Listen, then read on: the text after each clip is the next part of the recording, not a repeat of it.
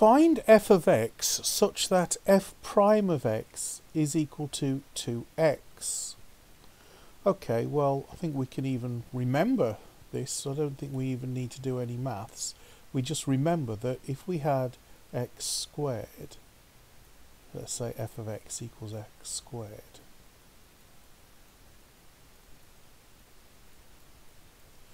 then we know that f prime of x was equal to 2x. We just remember that, don't we? So we simply say that the answer is f of x equals x squared. Simple. So what have we actually done?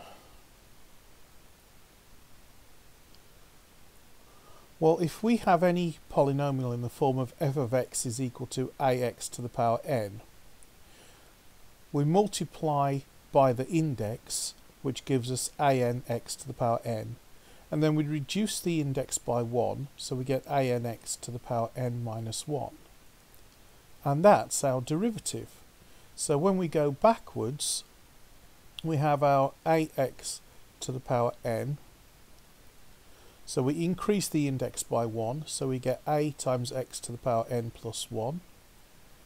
And then we divide by the new index and that is wrong.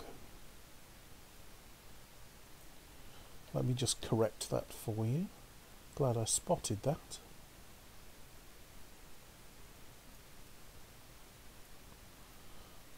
Okay. So that should be a over n plus 1 x to the power n plus 1 and that gets us back to our f of x. Let's just try that. Let's um, take the derivative of a over n plus 1 x to the power n plus 1. Okay, so we're multiplying by n plus 1, so that's n plus 1 times a divided by n plus 1 and then that's x to the power n plus 1.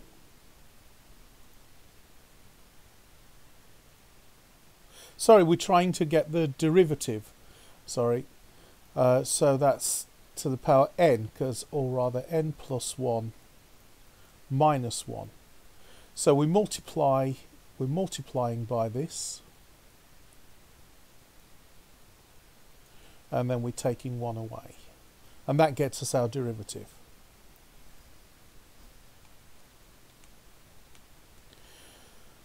So if we simplify this, that cancels with that, and these two cancel, and so we're left with a x to the power n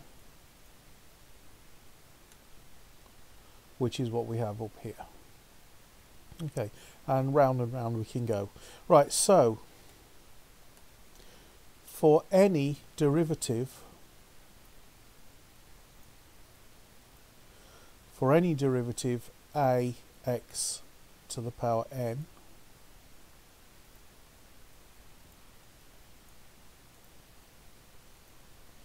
put this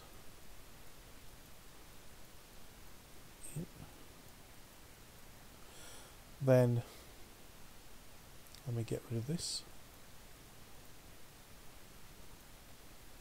Then f of x is equal to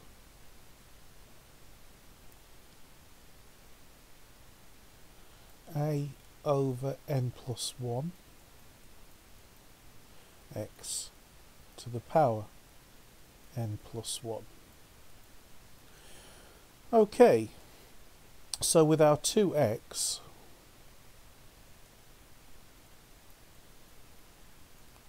all we do is say this is 2x to the power 1. So then we had to add 1, which makes it a 2.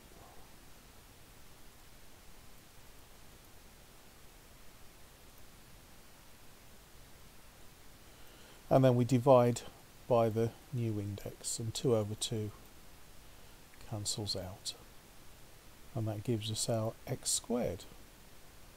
So our answer is f of x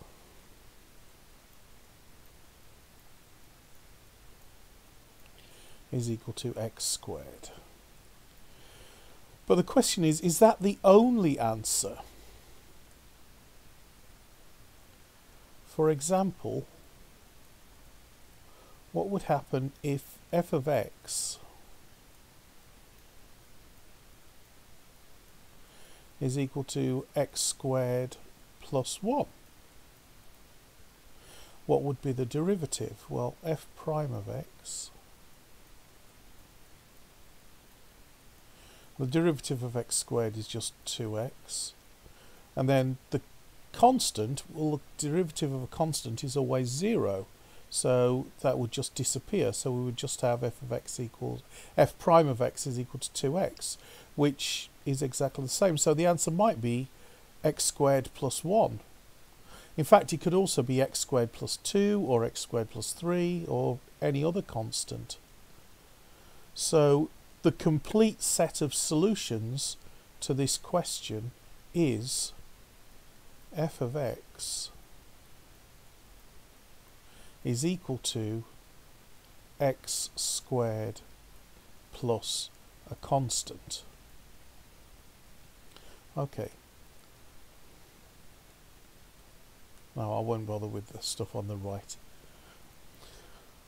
Right, so what we have here is called the indefinite integral. I'm just going to write that down so we can remember. It's called the indefinite integral. And a way we can express this um, symbolically is we can say the integral, and that's basically an elongated S shape. You might have seen this before. The integral of f prime of x.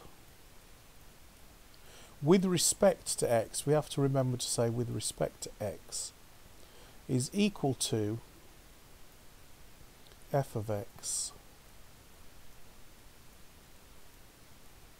plus a constant. We have to always remember that there's a constant. When we take the derivative, we lose the constant, so information has been lost uh, so we have to use this plus c to show that there are an infinite number of functions that could have the same derivative. Okay, I think that's probably about it. Um, let's just try a couple of worked examples uh, just to be familiar and comfortable with it. And then I'll leave you with a question. Uh, let's say, um, what is the integral of uh, 2x to the power 4 plus 6x cubed minus 2x squared plus 7. There we go. So we're looking for the integral of that with respect to x. Okay, so that would be and the reason I put such a long thing is to give us experience in finding the integral. So just like with the derivative, we can take each term separately. So 2x to the power 4, so our algorithm is that we add 1 to the index and then we divide by the new index. So that's going to be, so we've got our 2x so the 4 becomes a 5 and then we divide by 5. And now we can add to that. We've got our 6x and the cubed then becomes to the power 4 and we divide by 4. And then we add, no we don't add, we're subtracting this time.